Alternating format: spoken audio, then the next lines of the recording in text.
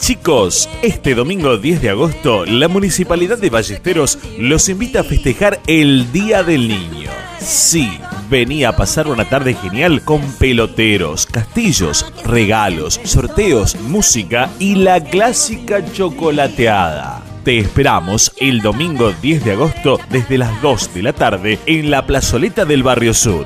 Gobierno Municipal de Ballesteros. Gestión Orlando Brusa.